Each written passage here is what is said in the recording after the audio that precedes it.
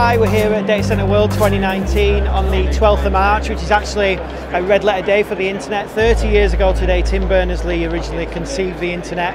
Um, he probably could never could have conceived what what would happen to it and how uh, how it would explode and what we're doing with data these days in terms of social media, e-commerce, online banking, all that data we create needs somewhere safe to be stored. Uh, Airedale International are here to tell you how we can keep that data safe with our intelligent cooling solutions.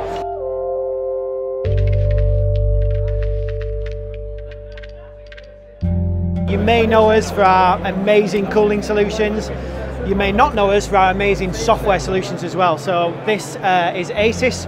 I'm just going to give you a quick overview and tell you why it's more than just your standard BMS. There's a lot of BMS offers out there. Uh, they all do kind of similar stuff. What we're kind of pulling in, in addition to, to what they're doing is we do true kind of HVAC optimization. We are cooling experts, so we can optimize your HVAC via ACIS.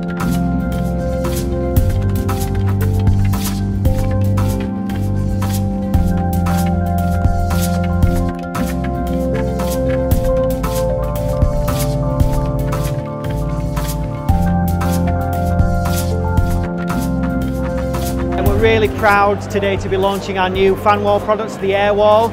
Um, a fan wall designed specifically for data center applications. We, have been doing this kind of unit for quite a number of years now. We've taken it, we've optimized it for data center use. So this one is a four fan version. It's using the new Ziehl-Abegg Bluefin uh, fans.